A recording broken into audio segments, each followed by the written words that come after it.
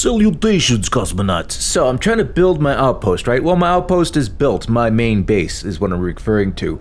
But I'm trying to deck it out. I'm trying to decorate. I'm trying to build furniture. I'm trying to build mannequins. But I'm running out of uh, resource materials, stuff like structural and ornamental and membrane, polymer, stuff like that. So I'm like, man, I don't want to go shopping. I'd rather have another outpost sending me all these things, and I found the perfect place for that. So we're on Oberon, in the Oberon Prime system which is just um, southeast of Alpha Centauri, southwest of Olympus, really close. And yeah, I've already taken the, the time to survey this planet. I had a lot of fun, man. But it didn't take too long, it was alright. I already placed a beacon, and I already renamed my beacon. So gold, structural ornament, pigment, membrane, and polymer. So, you want to see where I placed my beacon? Of course you do, let me show you. So I found a nice flat-ish area that I like. So let's go and do this, man. Um, let's not even waste any time. So yeah, you can see all of this gold. I don't really, I know I need gold for like a handful of things. This isn't something I really need, but since I'm here, I'm gonna go ahead and collect some. Not a lot. So we'll start with the extractors for the gold. And I'm not gonna do anything fancy, just a basic extractor. So I'm gonna place three of these. Sort of half haphazardly placed. Alright, those are placed. Let me go ahead and uh, go ahead and just make some storage for these guys. So, I'm just to build uh, the largest storage thing I have, and I'm just to place two. Alright, cool. Go and connect this up. Trying to stay organized here. I even have some uh, notes that I made to follow, so hopefully uh, this will be a little bit more co coherent than usual. I know, perish to that. Alright, I wanted to place that first just so uh, I knew where not to build on top of, you know? So that's good to go. Alright, with that in place, um, I'm gonna want to ship uh, my uh, landing pad with shipbuilder. Why is that over there? What's going on? There we go. You know, just place it off to the side so it's not in the way of anything. Put it towards the middle. This circle here. Alright, got that going on. Alright, with that in place, um, I'm gonna want, um, I'm to want to build some barns or animal hus husbandry facilities. I'm to place them over here, see if I can destroy some of these rocks. This other one over here. Face it inwards. So that's in place. And uh, yeah, I'm to build the storage from this stuff. Just one large container for each facility here. One there. One over here. Go ahead and connect these. There we go. Look how organized I am. I'm so proud of myself. And uh, I'm, I'm gonna build like six greenhouses now. See if I can make this look somewhat nice. Nice and neat in a row. The terrain will uh, cooperate with me.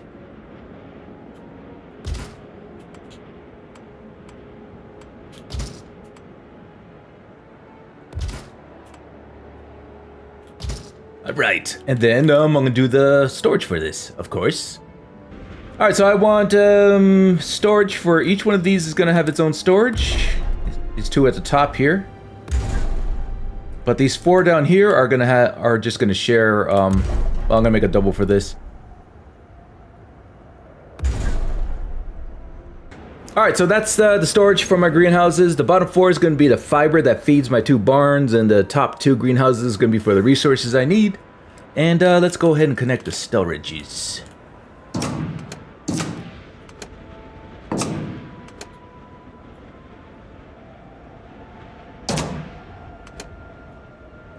I'm to do the power very last. That way everything sort of starts up at all at the same time, you know? Alright, so now uh, everything is, uh, everything basically needs water, so I gotta produce the water. And I'm gonna start it off uh, a little backwards, I guess, by producing the container that I'm gonna store the water in first. And I'm gonna build two of these. There we go, let's go and connect them. Alright. With this, I'm gonna do the water extractor, and I'm gonna go with the commercial one. So, I forget the exact amount I need, let's count. I'm just going by the. Uh, by, I have just enough resources to build just enough water uh, that this base needs. So, um, uh, the list of materials are not going to be provided in the description. Instead, I'm going to have a website that's a resource calculator that you could use to plan out your outposts. So, it'll uh, tell you exactly how many resources you need, specifically to how you want to set up your base. So, let's go and produce this water.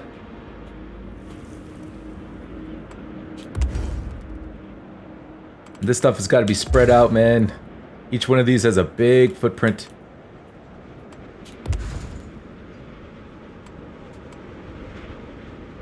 Guess I'll favor uh, the outskirts, I guess.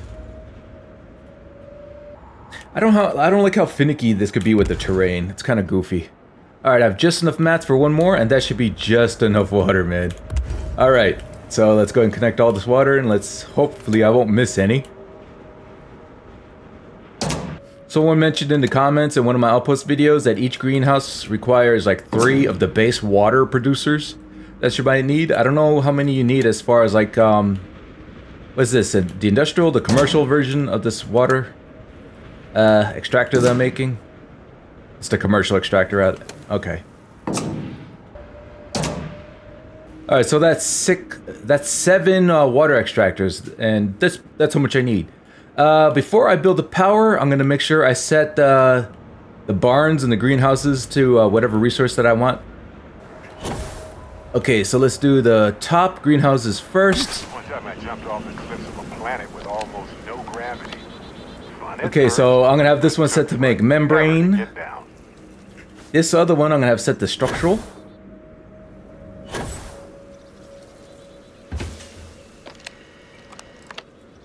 Boom. So membrane, I don't care about nutrient. And uh, other four is gonna be for fiber because my animals are gonna be hungry. They hungry, y'all. Fiber. Fiber. Fiber number three. And a fiber number four. Did I connect the fiber um, to uh, my barns? I don't think I did. No, I didn't. So these have got to feed the barns. That's the whole purpose of these bad boys. Okay, since I have all that set, let me make sure everything's connected. All the fiber, all this other stuff. And now I could connect to water because I learned, also from a comment, I wish I could remember everybody's name so I can give credit where it's due. But every time you switch whatever resource these things are producing, it, it disconnects the water connection. So that's why I was like, in my past videos, I was like, I could have swore I connected to water. I did. It's just when I switched to resource, it disconnected to water. So now, uh, all of these need water. There we go. Now let's go with the power. Um, I'm just gonna place to power up all up in here because I need to set up my inter um, systems cargo link over here. You know what? Let's do that. Let's go and do my inter systems cargo link. So yeah, it's gonna go right over here. Perfect. And actually, I'm to build the storage for over here, too. So, I'm just to do uh, the large... The large box, and I'm just to place it in the front. Doesn't matter. And I'm to make three of these. Why? I don't know. Three just sounds nice. There we go. Go and connect these bad boys up. Connect these over here. So this is going to be my collection stuff, so... Whoop. Don't want to set that as the top. Gotta set that to the bottom. There we go. And uh, you need fiber. Like, you can't create beds and stuff without fiber, so... Uh, yeah. This should be good. Alright, so that's all the greenhouses. Let's do the animal husbandry, husbandry stuff. Let's not forget the gold. Mmm, gold. I don't know. Does gold taste good? I don't think so. Tastes like nothing. Have you ever had like gold dust or gold flakes or anything? It's stupid. Just makes it so that you have gold flake flecked poop. Okay, so that's everything. Um, I think all I need now is power. And we're gonna go with the solar domes because this has a weak atmosphere, so this is just the best bang for your buck. Alright, and um, yeah, I'm just gonna just place them wherever, man. Wherever the terrain will allow me. So just build it until I have enough, and I'll build like one extra more for redundancies. There we go. We are powered up and everything's up and running. Nice. Yep, I took this time to uh, go ahead and um, move my ship here. All right, uh, let's uh, rest or sleep for a couple hours and make sure everything's working right. Oh no, these trees clipping through my stuff. This sucks. All right, let's see if everything is making it to the cargo link. Boom, we got the gold, ornament, the membranes, the structurals, and the fiber. That's exactly what I wanted. And the membrane. So uh, let's make sure, just double checking. I already know because I tested it, but um, better safe than sorry. Let's make sure that my water is actually building up. Yep, the water is indeed building up. All right, this base is good to go. I'm gonna consider this done. But now we got to um, set up the other end of this cargo link. And I'm gonna show you like how I'm gonna change up how I'm doing my intersystems or just my complete um, infrastructure as far as shipping goes. Let me show you what I'm gonna what I'm doing here. Okay, so here we are at my main base on Gagarin in the Alpha Centauri system, and uh, I need to set up a second cargo, uh, intersystems cargo link, but not for the reasons why you might think. I will explain momentarily, but first let me go ahead and build this. Okay, so I'm going to place this just on the other side of my storage here. I hate it when it does that. Why does it flip? There we go. Alright, so there's my second Intersystems cargo link, but I am not going to connect it to the outpost that I just built. I know it's kind of baffling. The main reason why I have this here is so that I have a dedicated distribution just specifically to get helium to this, uh, my outpost here. Ideally, I would have created my main outpost on a planet that helium that I had helium uh, on, but I didn't, so I have to do it this way. So what I'm doing is I'm replacing all my chained uh, cargo links from outpost 1 through 5 and I'm just going to put an intersystems cargo link at each one of those outposts. And each outpost will only have one cargo link, the intersystems uh, cargo link version of it. And the way how I'm going to do it, instead of chaining everything all together, forwarding all the materials here little by little, because by the time all the resources get to Outpost 5, you're only getting a handful of the resources at a time being delivered. And um, I don't want my cargo links to just be running, you know, 24 hours a day, just coming and going. It's like such a racket just having one here. So what I do, what I'm gonna do is whenever I need any resources, I'm gonna connect this one cargo link I have here to whatever outpost that has the resources I want, take in a delivery, and then disconnect it. So I, I, think of that as a very immersive way to go. Like when you think about like how the real world the real world works. When a factory needs resources, it just orders the resources uh, and whatever resources it needs, it gets delivered, and that's it. And then when it needs more, uh, it'll order more.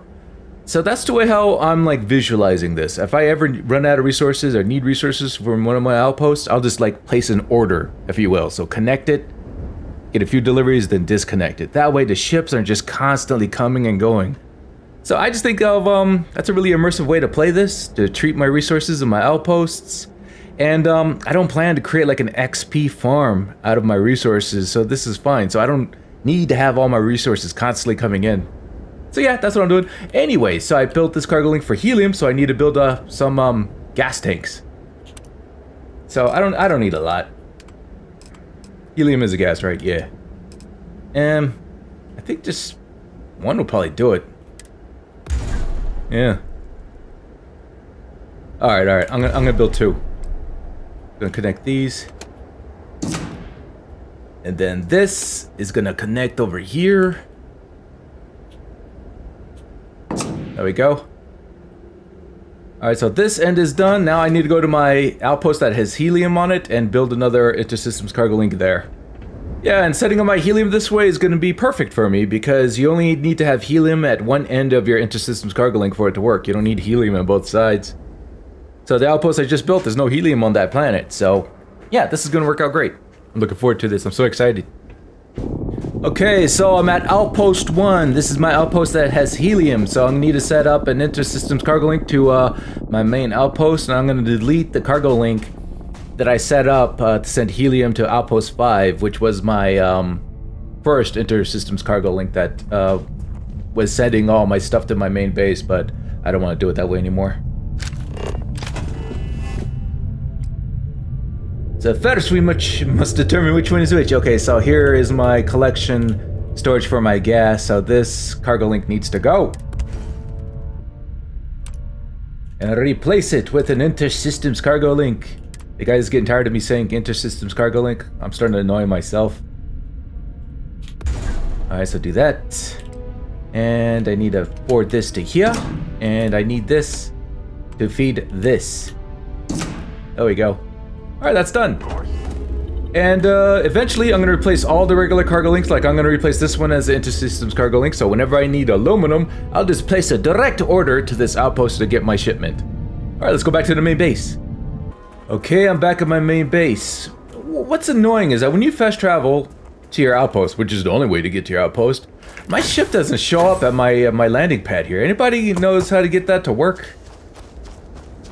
The way the I think the reason why it doesn't work is because my uh, my uh, landing area that I used to set up this outpost in the first place, that's where my ship is going. So if I could like delete that, the landing area, then maybe it'll work. Okay, so, oh, right. I gotta set up this cargo link for my helium shipments. And I'm gonna let this run for a while until every all my storage is saturated. I'll probably just keep... Yeah, I'm gonna turn it off because I don't want ships constantly coming and going. It gets annoying. Anyways, alright, here we go. So here's outpost one. That has my helium. Let's connect it. Boom. Here it comes. Alright, there's my first helium delivery. Woo! So I need to place an order for my structural and ornamental and membranes and stuff. So let's go to this, my main um, cargo link here. And now I just go here and look. Just by hovering over it, I know what's going to be sent here. So I'm going to get gold, ornament, membrane, fiber, and structural. So yeah, I'll just connect that, get a few deliveries, and then turn it off.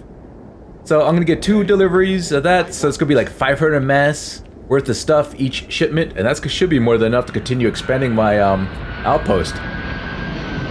Here he comes! And well, there you have it, friends. I got the setup that I want. So yeah, so look, yeah, right now look at this. Um, the way how I had it set up before, where all my resources were being forwarded from one outpost to the uh, to the next. So here is where it was coming from before my outpost five, and you can see here it just has a bunch of the resources here, and it's just a handful of stuff, right? So if I needed a bunch of aluminum, I'd have to import a crap load of this other stuff just to get enough aluminum. So now, once I have everything, uh, when I replace all my regular cargo links with just Intersystems cargo links, I could just order just aluminum in bulk, and that's gonna be great. And it'll clean up like the footprint that I'm leaving all over the place. So every outpost is only gonna have one cargo link, an Intersystems cargo link, and that's it, except for my main base because um, I didn't realize I was gonna do this. But yeah, so for you guys planning on your outpost, make sure your main base has helium on it, so you don't have to have two cargo links at one uh, one outpost. If you want to do what I'm doing, anyways. So there you go! Outpost development continuing on. I'm having fun with this, just figuring out the mechanics and working around the bugs and everything. Yeah, it's a lot of fun. So I hope you learned something. Hope you were entertained. Have a great day. Thank you for coming by. I really appreciate your support. Hey, I love ya. And I'll see you in the next episode.